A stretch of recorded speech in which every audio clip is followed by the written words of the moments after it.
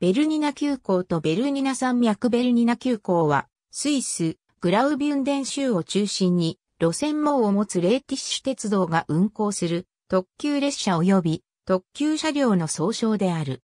ベルニナ特急と訳されることもある。列車によりサン・モリッツ・ティラーの間を結ぶベルニナ線のみを走るもの、クールからアルブラ線を経由してベルニナ線へ乗り入れるもの、ダボスからアルブラ線に乗り入れ、ベルニナ線へ結んで走るものなどがある。ベルニナエクスプレスのメインルートは、サンモリッツ、クール、ダボス、いずれが発着駅の場合でもすべての共通区間となる、ベルニナ線となる。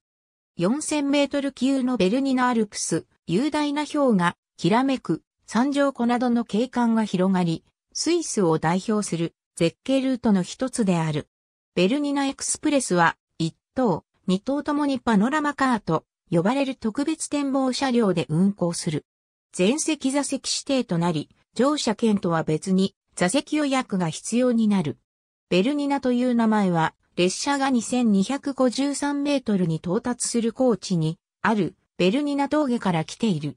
ここからティラーノまでの最急勾配は70パーミルである。夏季ダイヤは例年5月中旬から10月下旬まで。冬季ダイヤは例年12月中旬から5月中旬までとなる。走行時間はサンモリッツティラーノ間が約2時間20分。クールティラーノ間が約4時間20分。ダボスティラーノ間が約3時間45分。